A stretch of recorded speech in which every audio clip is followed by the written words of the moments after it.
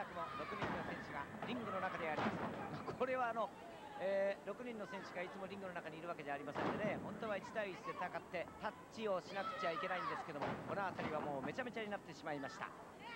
そしてレフリーでありますがホセ・トレスが今はリング上に上がっております、まあ、このホセ・トレスという人ね前にあの私見たことがあるんですけどもね日本にはこれ初めてじゃないでしょう。そうですね、はい、あのまあ、ずっと以前もうあの、まあ、日本のマットあのさばいたことあるんですけどね、はいはい。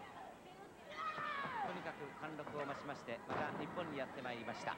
まあ、あの外人レスラーもたくさん日本に来ますしそれからこうして外人のレフリーもまた日本のリングに今は来るようにあります、まあ、日本と言いますと、えー、女子プロレスの今メッカと言っていいんでしょうか。メキシコアメリカあるいはヨーロッパのマット以上に白熱しております。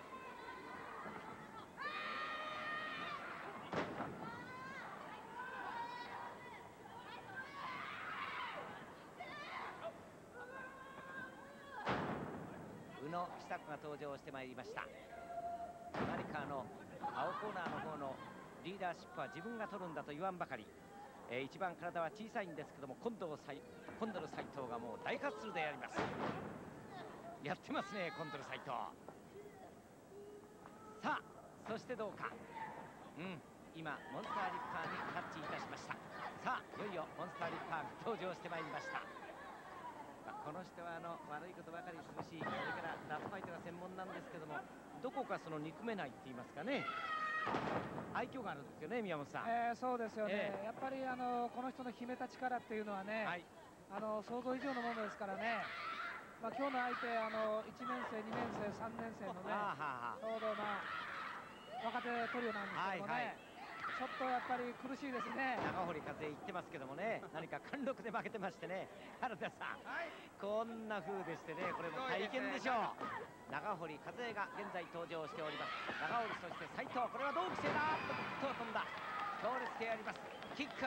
そしてもう一発入るか今度は後ろに落としております。ショルダースルーでやります。あーっとまたキックが飛んだ。タイミングがいいぞ長堀風でやります宮本さん、えー、今あの2発のそばとね、はい、非常にあのいいタイミングで決まりましたよね。いいよねはい。まあやはりこれこの2人同期生ですからね。そうなんです。やはりあの2人が顔を合わせますとね、気合が違いますよね。特に長堀和恵はまあ8月にですね10日間ばかり夏休みがあったんですが、この夏休みの返事をいたしまして山崎照友さんのですね夏季特訓に参加してるわけですね。はい、あの山梨でね、えー、特訓をやったそうですね。大変だったそうですね。はい何か朝4時半に起床して5時から始まるんですってああそうですか、えーまあこの特訓は本当に死の特訓といいますか凄まじいものがあったようであります。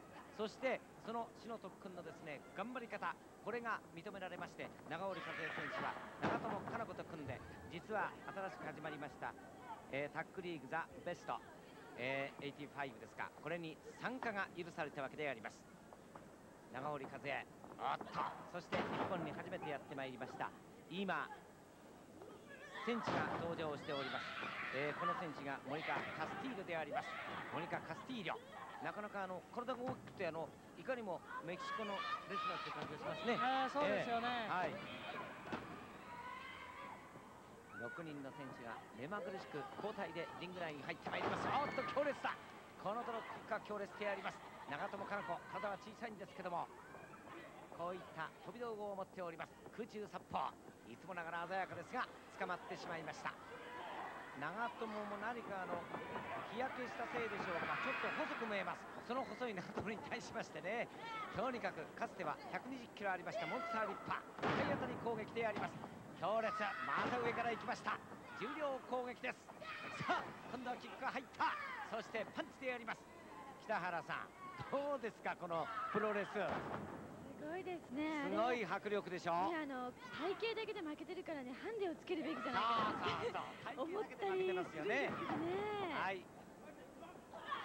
まあ本来は、えー、今北原さんが言ったようにね、ハンデがつけばもう問題はないんでしょうが、格闘技の場合、特に女子プロレスの場合はね、そういったあのハンデは全くありません。ですから長友、そしてモンターリッパ、もうリングに上がったら五分と五分でやります。あとはもう気の強さって言いますかね。負けじ魂でいくしかありません。まあ、しかしこうして大きい選手に囲まれますとねちょっと長友かな子本当に大きなハンデがあるようであります。今斉藤が出てまいりました。さあ斉藤がロープに振った。どうか。あっ逆に長友かな子の反撃でやります。さあロープに振ってどういうふうにいきますか。思い切って顔面をマットにたきつけておりますそしてキック攻撃が入りました。さあ空中殺法は18番であります。まだいったデイビスラムです。うん。これがしかし長友かな子の課題であります。今モンスターが入ってまいりました。もちろんこれはタッチはありませんでした。あっと何をしてもちょっとダメ。3人がかりで来ております。まあこれは当然でしょう。さあモンスターリッパー。モンスターの体重はですねちょっとあの落ちたような感じもあるんですけども上半身あたりの肉は引き締まってまいりましてね,、えーそうですね。相当メキシコでやりやってるんでしょうね。はいもう、まあ、モンスターも久々の来日なんですけどもね、はい。まあ、一時低迷したこともあったんですけどこのシリーズも、あのー、すごいですね、はい、もう技の一つ一つ非常に荒いですしね。そうですね。なんかもう、あのー、プライドがね、はい。まあ、一つで強いんですけども、えー。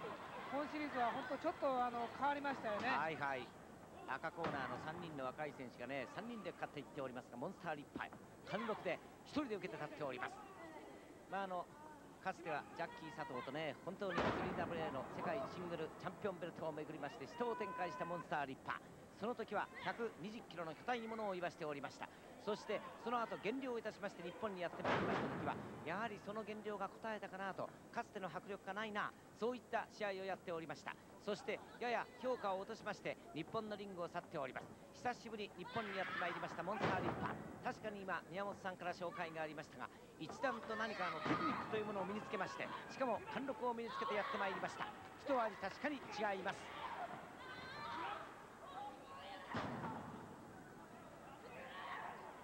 宇野久子が今登場してますね。宇野久子もまあ今年プロテストに合格いたしました。新人でありますが15人プロテストに合格いたしましたがその中ではやはり何といってもナンバーワンという評価を得ております。宇野久子であります。この人はソフトボールをやってたんですね。ああそうですね。はいまあ、1年生でねこのターグ戦ちょっとあのしんどいんですけどもね、はいはい、まあ、なかなか頑張ってますよね。そうですね。1人で戦うだけでもやっとというんですけどもね。その後コンビネーションいろんなものを考えなくちゃいけません。しかも今日は6人タッグに登場しております。宇野久子にとりまして大きなチャンスです。さあここで今長友かな子にタッチいたしました。どうなんでしょうか。やはり赤コーナーはこの長友がリードしてるんでしょうか、えー、そうでしょうね。やっぱり、はいまあ、先輩ですからね。さあどうか。とクロスチョップ。強烈に飛んでます。クロスチョップなんかあのヘッドパッドも入ってるような感じですね、えー、そうですね、えー、あのまあ、日本のマットまだそんなに慣れてないですからね、はい、ちょっとワンテンポ動きはずれるんですけどもなかなか動き自体はいいですよね。いいですね、はい、モニカ・カスティールであります。さあキック入った。キックのを返してやります。さあそしてどうか。おっと3人攻撃です赤コーナー若い3人だとしかしこれは相打ちになってしまいました。長堀和恵。さあ長堀がロープに飛ばされました。どうか？強烈です。今の技は何というふうに言ったらいいんでしょうかね。クロスチョップ風でしかもあのヘッドパッドでね、まあ、えー、飛んでいってますけどもね。ヘッドパッドなんでしょうね、さあロープに振って今度おっと！綺麗にカウンターになってキックが入りました。ソバットが入っております思わずお腹を押さえております。長堀和恵おっとまだいった。カウンター綺麗に入ってます。まああのコンドル斎藤は斎藤町子時代から一生懸命あのキックを山崎さんについて勉強してましたんでね、はい、なかなかあの鮮やかですよね。そしてモンスターリッパーの登場です。気合が入ってます。モンスターリッパーと後ろで落とした。バックリップ。さあ髪の毛を掴んだモンスターリッパー。どうするか叩きつけました強烈です。おっとカウントが入った。これはもうどうしようもありません。貫禄の勝利であります。確かに宮本さんモンスターリッパーはもう一段と貫禄を増して日本のマット界にまた殴り込みをかけてきましたですね、えー、そうですね、えー、もう今の、まあ、見ても技一つ一つがですね、はい、非常に荒っぽいですね。切れてますよね、はい、そしてね。切れ味も満点なんですけどね、はい、もう相手をした選手これ壊されちゃいますねまあ、あの今日本のマット界はですね教育攻撃がね、えー、本当にあの大変なんですけどもしかしこのモンスター・リッパーという人は教育攻撃よりもむしろラファイトを売り物にしている選手でしてね,、えー、ね。今もあの本当の力とね、はい、あの自分の,、まあ、あのパワーファイター、えー、もうその一本でやってきますね。そうですよね。狂気は一切使わないですからね、はい、しかし気持ちのいいことは気持ちがいいですね。使わなくたってその迫力というのは十分ですよね、えー、そうですね。はい今やっと長織和恵選手ね立ち上がりましたがしかしもう本当にご覧ください朦朧としております。いや長堀和恵選手ようやく起き上がって今担がれて控え室に入っております。